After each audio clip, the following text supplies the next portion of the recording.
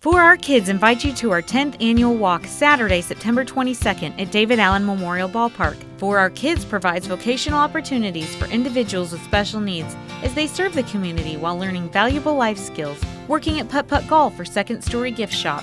We love celebrating home runs during Miracle League games, and we'd love to see you for free food, games, and fun September 22nd at the For Our Kids Walk, where we will walk together for our kids.